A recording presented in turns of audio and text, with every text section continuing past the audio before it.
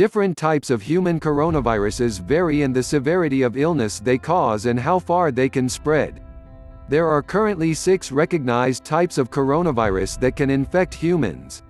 Common types include 229E alpha coronavirus NL63 alpha coronavirus OCE43 beta coronavirus HKU1 beta coronavirus. Rarer more dangerous types include MERS-CoV which causes Middle East respiratory syndrome MERS and severe acute respiratory syndrome SARS-CoV the coronavirus responsible for SARS Transmission contagious diseases can spread through coughing without covering the mouth there has not been a great deal of research on how a human coronavirus spreads from one person to the next. However, it is believed that the viruses transmit using secreted fluid from the respiratory system. Coronaviruses can spread in the following ways. Coughing and sneezing without covering the mouth can disperse droplets into the air, spreading the virus. Touching or shaking hands with a person that has the virus can pass the virus from one person to another making contact with a surface or object that has the virus and then touching your nose, eyes, or mouth. On rare occasions, a coronavirus may spread through contact with feces. People in the US are more likely to contract the disease in the winter or fall. The disease is still active during the rest of the year. Young people are most likely to contract a coronavirus, and people can contract more than one infection over the course of a lifetime. Most people will become infected with at least one coronavirus in their life. It is said that the mutating abilities of the coronavirus are what make it so contagious. To prevent transmission, be sure to stay at home and rest while experiencing symptoms and avoid close contact with other people. Covering the mouth and nose with a tissue or handkerchief while coughing or sneezing can also help prevent the spread of a coronavirus. Be sure to dispose of any used tissues and maintain hygiene around the home.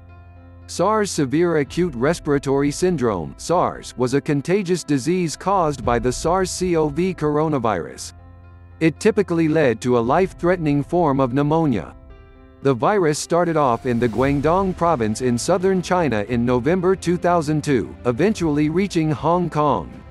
From there, it rapidly spread around the world, infecting people in 37 countries. SARS-CoV is unique. It can infect both the upper and lower respiratory tract and can also cause gastroenteritis. The symptoms of SARS develop over the course of a week and start with a fever. Early on in the condition, people develop flu-like symptoms, such as Dry coughing chills diarrhea breathlessness aches pneumonia, a severe lung infection, may develop afterward.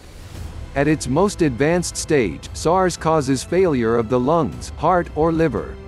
During the epidemic, there were 8,098 confirmed cases of SARS with 774 fatalities.